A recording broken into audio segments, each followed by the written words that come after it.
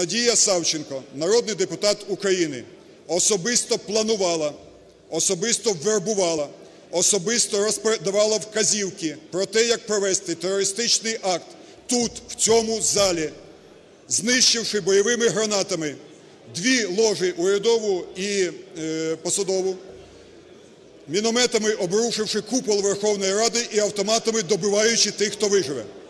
Надія Савченко, народний депутат України, особисто планувала, особисто вербувала, особисто розповідала вказівки про те, як провести терористичний акт тут, в цьому залі, знищивши бойовими гранатами дві ложі урядову і е, посадову, мінометами обрушивши купол Верховної Ради і автоматами добиваючи тих, хто виживе. Юрий Луценко получает в месяц 130-150 тысяч. И хуй не дує, парень.